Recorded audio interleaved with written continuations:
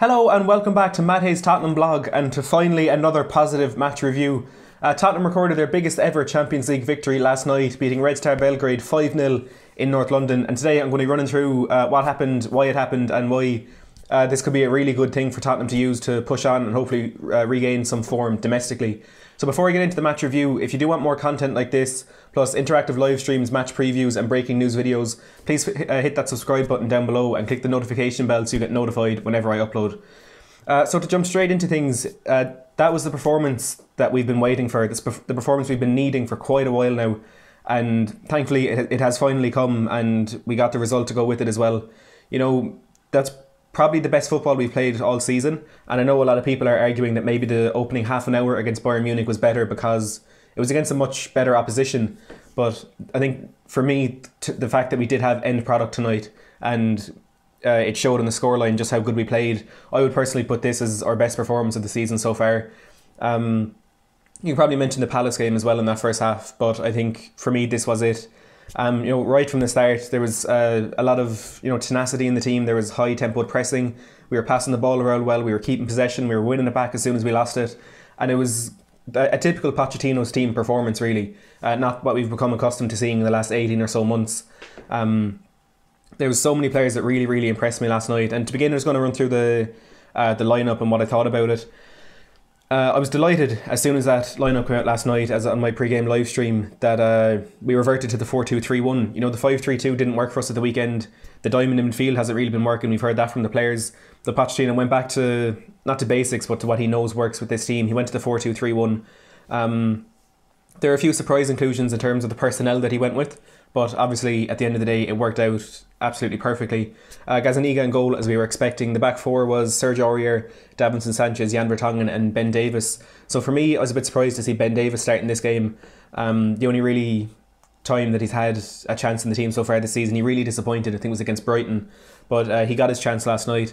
As for the two centre backs, we kind of felt there was going to be a bit of rotation there. It hasn't been working for Toby Alderweireld and Jan Vertonghen this season. Um, I was a bit surprised that it was Toby who dropped out rather than Jan. But yeah, Sanchez came in and he had a really good game, and Aurier in right back. Um, I would have preferred to see Kyle Walker Peters or Juan Foyth starting there. Uh, Walker Peters not in the squad at all, and Foyth came on late on. But uh, moving into the midfield, it was Tanguy Ndombele and Musa Sissoko. Uh, a really strong midfield. You know, we're expecting good th- good things from a midfield like that in against the opposition we were playing. Um, and then it was Erik Lamela, Dele Alli, and Heung-min Son playing behind Harry Kane. And again, the questions were being asked: Where's Lucas Moura? You know, he got only his third league start of the season against Watford last Saturday, and again he was put down to the bench. But even these questionable decisions in this team from Pochettino, they can be justified by the fact that we did go out and we won so convincingly. And I suppose that is the the plight of a manager: the decisions that you make. If they don't, if uh, you know the game goes wrong, that's what will be blamed, and if it goes right, that's what will be praised. Um, and it's, it's just the way things are, to be honest. Um, on the bench, then we had a really, really strong bench. You know, uh, on the offensive side of things, we had Giovanni Lo Celso back from his injury, Christian Eriksen and Lucas Moura. Defensively, we had Juan Foyth and uh, Eric Dier, and then Harry Winks in the midfield, and Brandon Austin, the young goalkeeper, on the bench ahead of Michel Vorm. Um, and every single decision from Pochettino worked out absolutely perfectly because, as I said, we started that game uh, so quickly, so positively, and the commentators on BT were even saying it uh, Red Star were expecting to come and play a team out of form, a team with no confidence, a team that just can't get anything, any run of form together. They're no quality uh, lately, and they were completely overwhelmed and they were completely blown off the pitch in that first 15 minutes.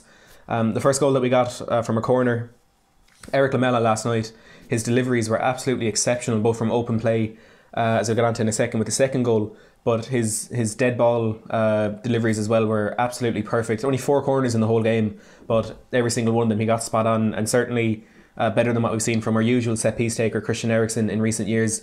Um, and it was a really good run from Harry Kane to the front post. He just glanced it on, you know, typical Harry Kane goal.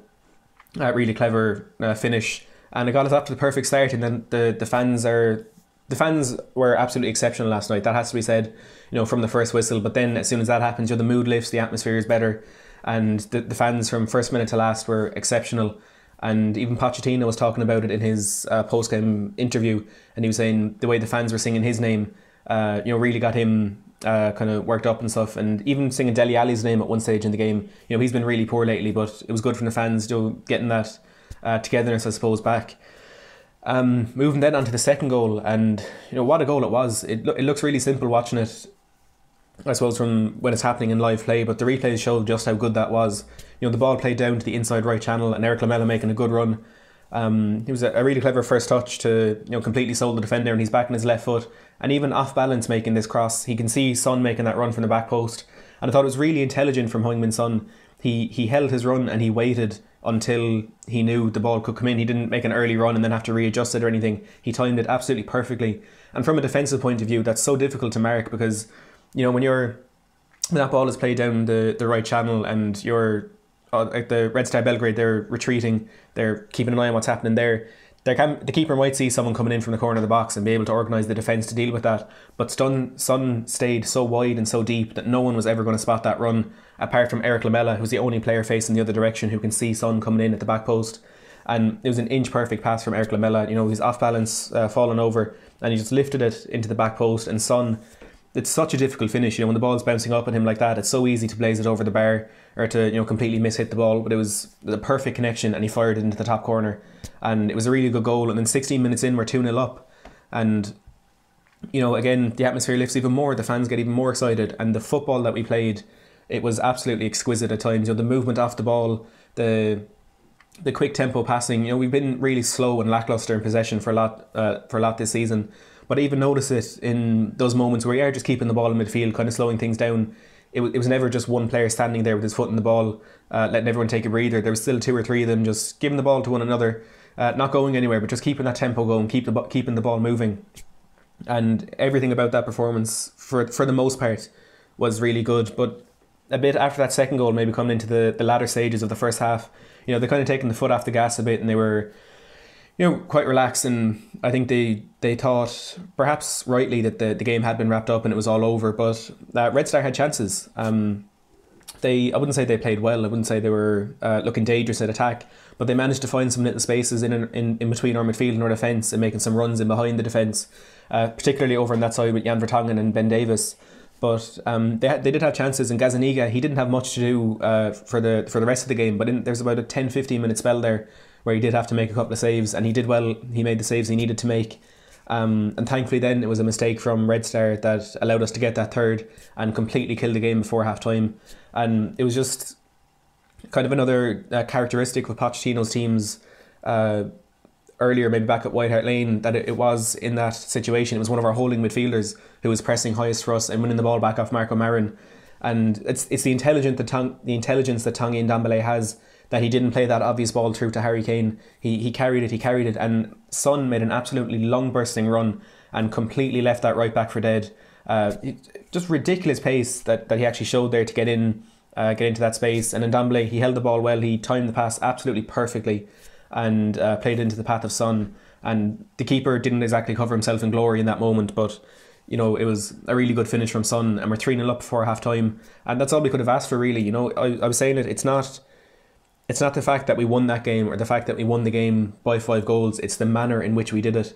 You know, from start to finish, the football, the the effort, the intensity, absolutely everything was exactly exactly what we've been asking for from this team. Um, and it's um, it, for me, for me, it's not surprising that it was a team that was in this four two three one formation because that's the as I've been saying the one the formation that's gotten this team to the stage we're at now, where we expect to see performances like this on a weekly basis.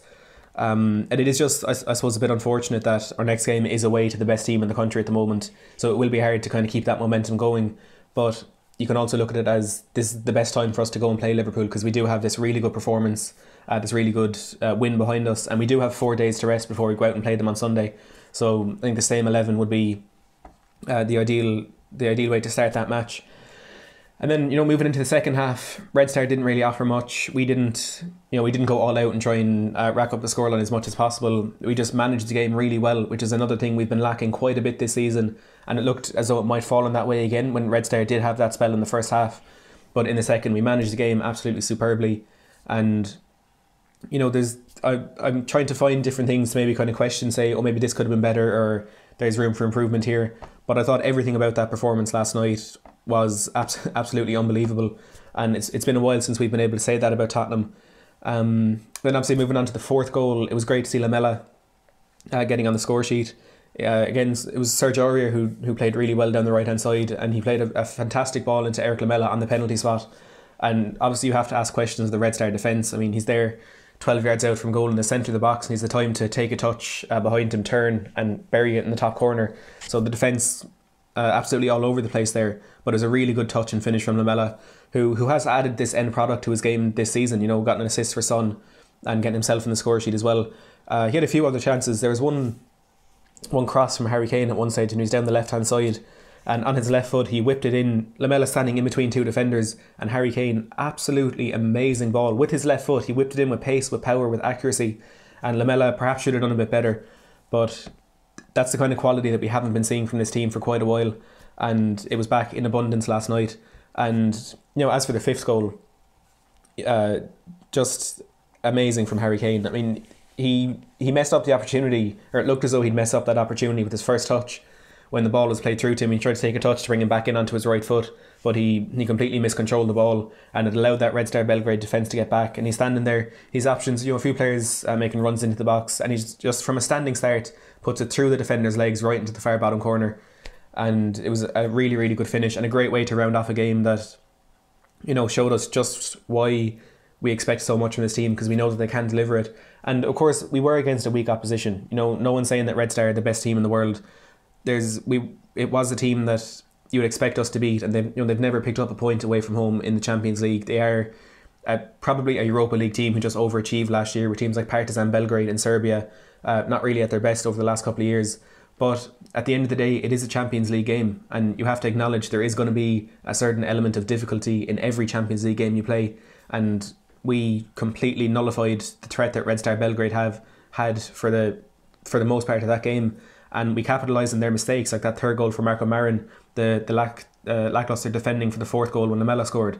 We took advantage of everything that was presented to us, and we've been the team on the other side of that for this season. But it was great to see us, you know, so convincingly winning a game, convincingly winning a game, and hopefully we can go out against Liverpool on Sunday and perform similarly. I mean, I'm not going to ask for a 5 0 victory in that one, but no, if we play similar football, there's no saying that we can't get something off them because you know we've kind of been a bogey team for them since Jurgen Klopp came in, and I know it doesn't feel like it because we do have some really bad results against them at times. But you know, I think we haven't lost at Anfield for three years now, two or three years. Maybe we lost last year, but hadn't for a couple of years before that. And obviously, we had a good result against them at Wembley a couple of years ago as well. So there's no saying that we can't get something out of this game, but we need to take everything from last night into this game on Sunday and you know there, there, was, there could be a result there for us. Um, now, in terms of my player rating video, I'm going to be recording that now in a second. I'll be releasing that in the morning. Uh, so make sure you subscribe if you want to uh, get that player ratings video. If you have enjoyed this video, please don't forget to give it a big thumbs up and comment down below your thoughts on everything that happened last night, from the, the lineup to the performance to the goals, absolutely everything. Um, as always, thanks for watching.